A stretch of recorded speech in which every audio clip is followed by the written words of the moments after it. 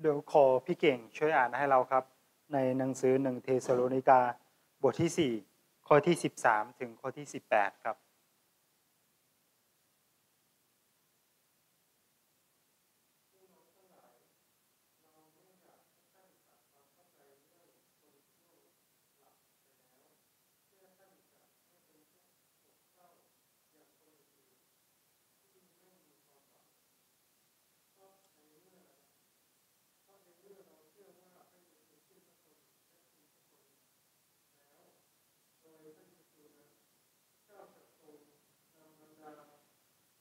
Lord.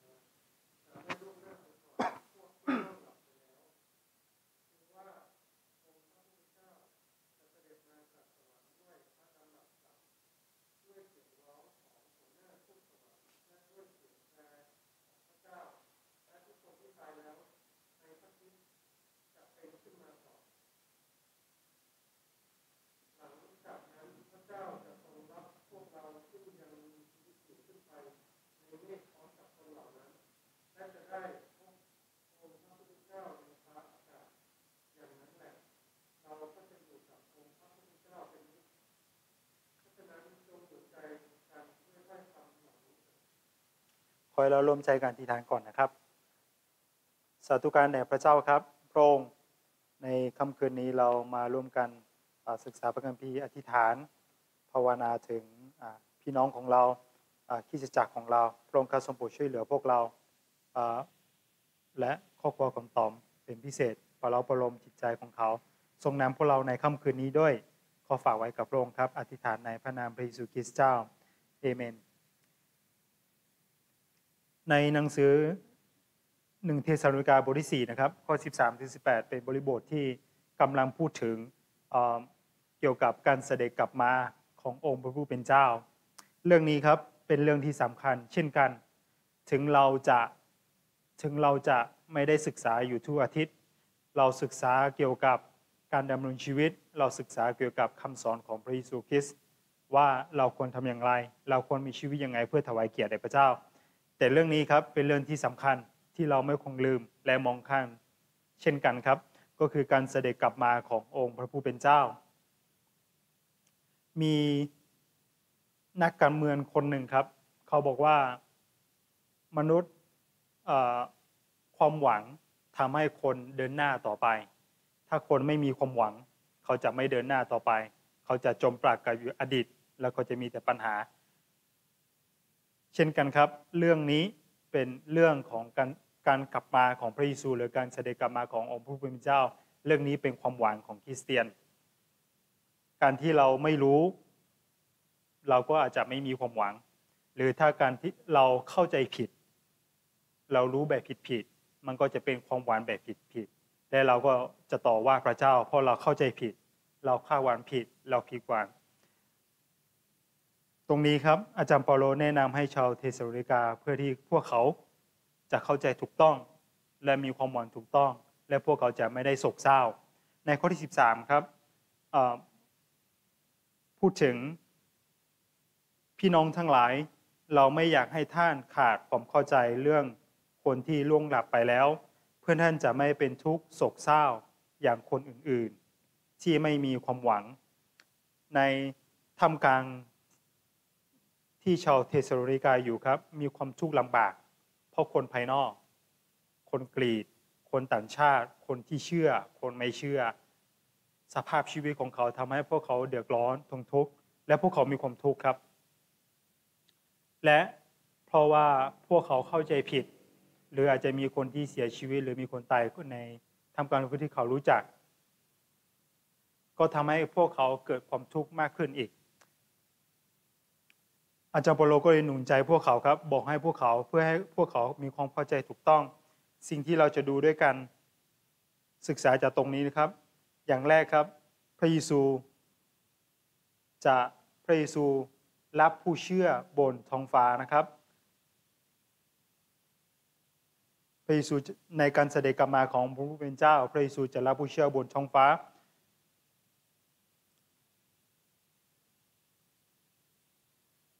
ในข้อที่ 14 บอกครับบอกว่าในข้อที่ 14 ถึงข้อที่ 16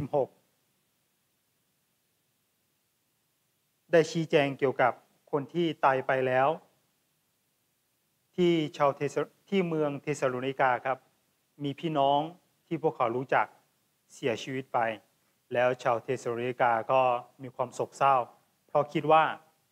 เขาจะไม่อยู่ เขาไม่ได้อยู่รอวันที่พระเยซูกลับมารับคริสเตียน หรือวิสุทธิชน นี่เป็นการเข้าใจผิดครับ ในข้อที่ 14 ถึงข้อที่ 16 อาจารย์เปโลก็ชี้แจง ให้พวกเขาว่าเกี่ยวกับผู้ที่ตายไปแล้ว ผู้ที่ตายไปแล้ว ผู้ที่ เป็นคริสเตียนนะครับ ผู้ที่เป็นธรรมิกชน บอกว่า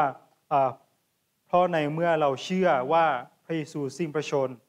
และคืนพระชนแล้ว เพราะในเมื่อเราเชื่อหรือถ้าเราเชื่อเราเชื่อในพระเยซูคริสต์เชื่อว่าพระเยซูคริสต์สิ้นพระชน และคืนพระชน เราเชื่อว่าพระเยซูตาย และมากกว่านั้นครับไม่ได้อยู่แค่ตรงนั้น เราเชื่อว่าพระเยซูเป็นขึ้นมาด้วย พระเจ้าทำให้พระเยซูเป็นขึ้นมา เรารู้เช่นนั้น เราเข้าใจเช่นนั้น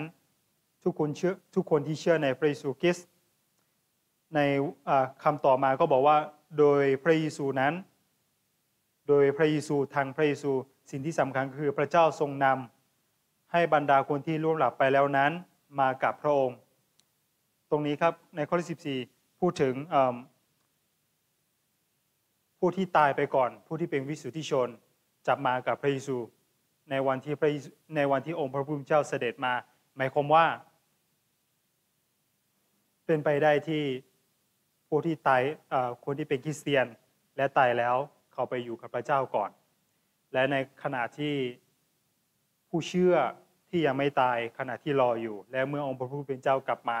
ผู้ที่ตายไปแล้วจับมากับองค์พระผู้เป็นเจ้าจะมากับพระเยซูคริสต์ พื่อที่จะมารับพวกเขา ขอให้เราเปิดดูในพระคัมภีร์ข้อหนึ่งครับในสองโครินบทที่ห้า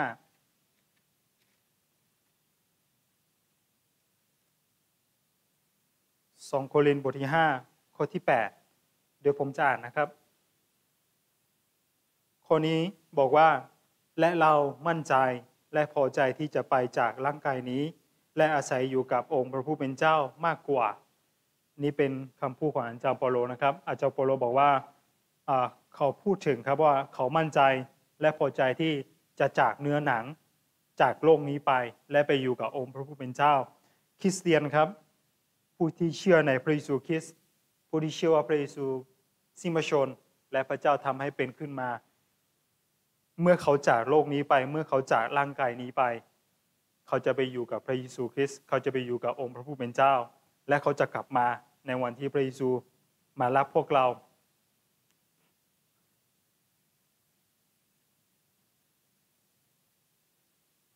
เพราะว่าทำไมเป็นอย่างนั้นครับ เพราะว่าในหนังสือกิจการบทที่สองกิจการบทที่สองข้อที่ 22 บอกว่า แต่พระเจ้าทรงทำให้พระองค์คืนพระชน ทรงให้พ้นจากความตาย อันปวดร้าว เพราะว่าความตายจากครอบงานพระองค์ไว้ไม่ได้ ในกิจการบทที่สองครับ เป็นจดหมายเป็นคำเทศนาของอาจารย์เปโตรอาจารย์เปโตรบอกว่าพระเยซูตายในข้อที่ 23 บอกว่าพระเยซูถูกมอบไว้ให้ตาย แล้วคนยิวฆ่าเขาตึงเขาให้ตายที่โบไม้กางเขนแต่พระเจ้าทำให้พระเยซูเป็นขึ้นมา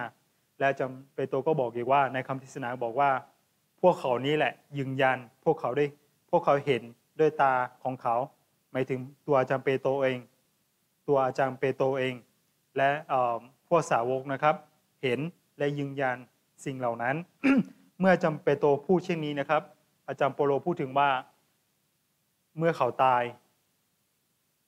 หรือเมื่อเขาออกไปจากร่างกายนี้เขาพร้อมที่จะไปอยู่กับพระเจ้า ฉะนั้นครับ ตรงนี้ยืนยันว่าผู้เชื่อที่ตายไปก่อน ที่พระเยซูคริสต์จะกลับมารับ พวกเขาจะไปอยู่กับองค์พระผู้เป็นเจ้า จะไม่เป็นอย่าง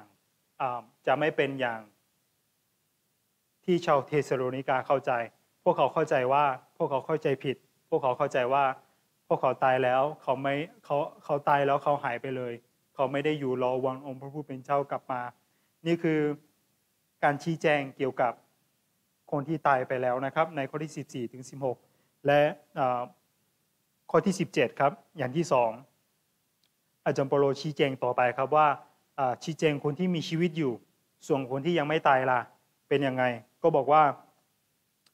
หลังจากนั้น พระเจ้าจะทรงรับพวกเรา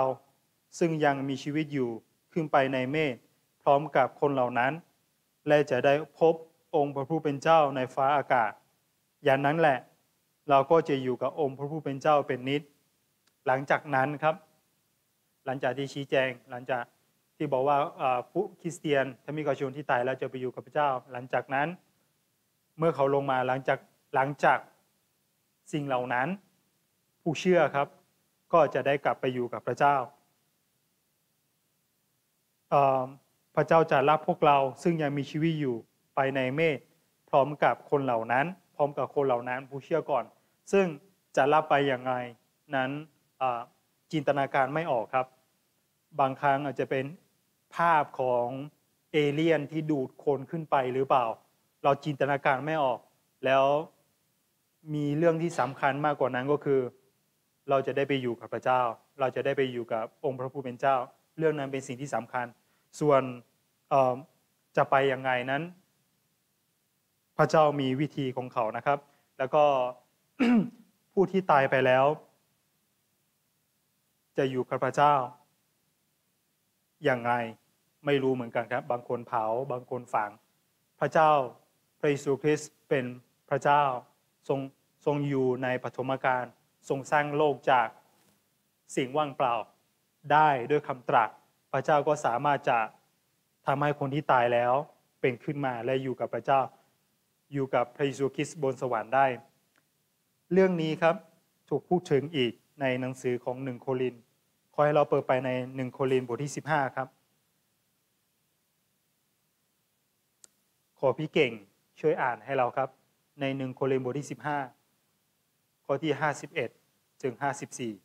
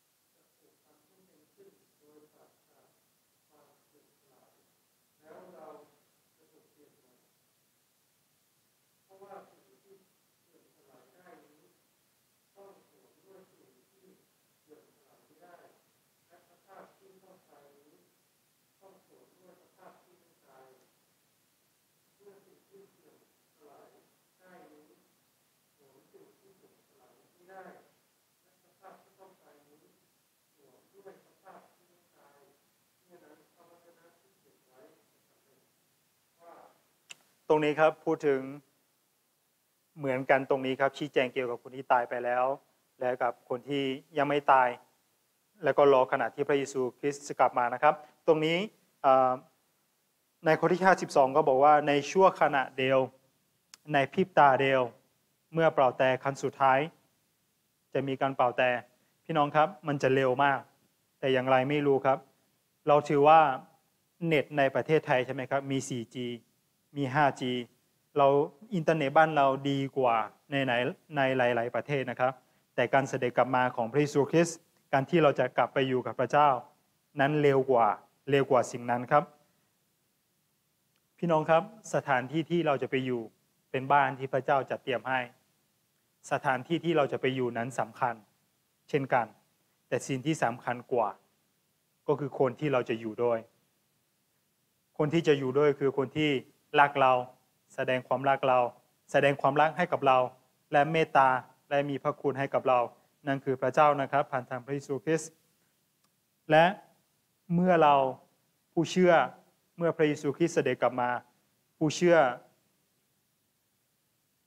จะได้ไปอยู่กับพระเจ้า เราอาจจะมีความสงสัยว่ามันจะเป็นปัญหาไหมกับร่างกายของเราจะไปอย่างไรอาจจะมีความเราอาจจะมีความสงสัย ตรงนี้ครับ ในข้อที่ 53 บอกว่าเราจะมีร่างกายที่ไม่เสื่อมสลาย เราจะมีร่างกายสวมด้วยสภาพที่ไม่ตาย หรือว่าเสื่อมสลายไม่ได้หน้าตอนนี้ครับ ร่างกายของเราเสื่อมสลายได้ เราไม่ได้เสื่อมสลายปุ๊บปั๊บ แต่การเจ็บป่วยอาการต่างๆ มันบ่งบอกว่าร่างกายเราจะเสื่อมสลายได้ แต่เมื่อเราไปอยู่กับพระเจ้าครับ เราจะมีร่างกายใหม่ เราจะมีร่างกายอย่างสวรรค์ และเราจะได้ไปอยู่กับผู้ที่รักเราในสถานที่คือที่ที่พระเจ้าจะเตรียมให้ เป็นเรื่องน่ายินดีมากครับ เราจะได้อยู่กับคนที่รักเรา และคนที่เรารักด้วย ใน ข้อที่ 17 ครับบอกว่าในหนึ่งเทสโลนิกาบทที่4ข้อที่ 17 อให้เรากลับไปดูนะครับวลีสุดท้ายบอกว่าเราก็จะอยู่กับองค์พระผู้เป็นเจ้าเป็นนิด และเราจะอยู่กับองค์พระผู้เป็นเจ้าเป็นนิด ไม่ใช่ชั่วคราว ไม่ได้มีสัญญาเช่า เด็กๆประถมครับ ช่วงนี้อาจจะบ่นว่าอยู่บ้านนานมาก อยากจะกลับไปโรงเรียนเพราะเป็นโควิดเนาะที่บ้านไม่มีเพื่อน ถือว่านาน แต่พ่อแม่บอกว่าทำงานส่งเรียนนานกว่านะ ไอไอเด็กไอเด็กที่คิดว่านานแล้วพ่อแม่บอกว่าส่งเรียนนานกว่าวัยทำงานครับ อยากจะมีรถอยากจะมีบ้าน โอ้ผ่อนรถสามสิบปี คิดว่านานแล้ว แต่ยังไม่นานครับผ่อนรถเจ็ดปี ผ่อนบ้านสามสิบปี ถือว่านานนะ ต้องทำงานใช้นี่ถือว่านานแล้ว แต่คำว่าเป็นนิดในตรงนี้ครับ นานยิ่งกว่านั้น เราคิดว่าเราอายุ 30 เราคิดว่าเราอายุ 40 โอ้เราอยู่นานกว่าเธอ เราอยู่นานกว่าคุณ แต่คนที่บอกหกสิบบอกว่าเราอยู่นานกว่า คนที่เก้าสิบบอกว่าเราอยู่นานกว่า แต่เมื่อเปรียบเทียบกับพันปี มันเป็นกี่เปอร์เซ็นต์ของ50ปี60ปี100ปี เป็นกี่เปอร์เซ็นต์ของ1,000ครับ แต่พระคัมภีร์ตรงนี้บอกว่าเราจะได้อยู่เป็นนิด เราจะได้ไปอยู่เป็นนิด ไม่ใช่7ปี อย่างที่เราผ่องรถไม่ใช่30ปี ไม่ใช่60ปีเหมือนอายุขัยของเรา แต่เราจะอยู่นานมากกว่านั้น เราจะอยู่กับองค์พระผู้เป็นเจ้าเป็นนิด และข้อที่ 18 ครับ บอกว่า เพราะฉะนั้นจนหนุนใจกันด้วยถ้อยคำเหล่านี้เถิด หลังจากที่อันเจาปโลได้ชี้แจงครับให้ว่าผู้ที่ตายไปแล้วจะเป็นยังไงถ้ามีขชนที่ตายไปก่อน ผู้ที่ไม่ได้อยู่ กลุ่มคนที่ชาวเทสโลนิกาคิดว่าพวกเขาไม่ได้อยู่รอพระเจ้ามา กับอาจารย์โปโลชี้แจงว่าพวกเขาจะพวกเขาจะอยู่กับพระเจ้าแล้ว แล้วพวกเขาจะลงมากับองค์พระผู้เป็นเจ้า ในขณะที่เขามารับ และจะมารับอย่างไรในพริบตาเดียว ในการชี้แจงต่อไปครับบอกว่าในการชี้แจงถึงผู้ที่มีชีวิตอยู่จะเป็นอย่างไร และผู้ที่มีชีวิตอยู่เมื่อไปอยู่กับพระเจ้าบนสวรรค์จะมีร่างกายอย่างไร ในข้อที่ 18 ก็บอกว่าหลังจากที่รู้สิ่งเหล่านี้แล้ว เพราะฉะนั้นจนหนุนใจกันด้วยถ้อยคำเหล่านี้เถิด เพราะว่าชาวเทสโลนิกาครับเผชิญความทุกข์ไม่พอท้อใจไม่พอ ดันมาเสียพี่น้องคริสเตียนที่อยู่ด้วยกันรักด้วยกันรู้จักพระเจ้าด้วยกันไปอีก พวกเขาก็มีความทุกข์อีก และอย่าให้ข้อความเหล่านี้คำเหล่านี้ที่อาจารย์เปาโลบอกในจดหมายฝากของเทสโลนิกา ให้หนุนใจซึ่งกันและกัน คอยเราเปิดไปดูในหนึ่งโครินธ์บทที่ 15 ครับ ข้อที่ 58